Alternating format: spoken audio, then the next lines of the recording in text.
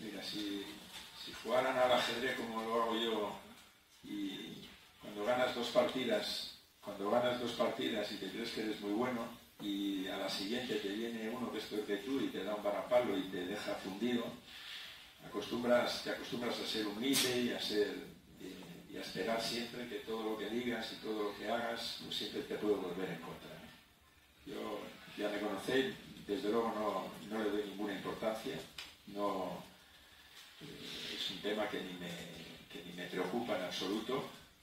Eh, a mí me gustaría que las cosas fueran de otra manera, pero bueno, esto es lo que hay y, nada que decir. Simplemente eso.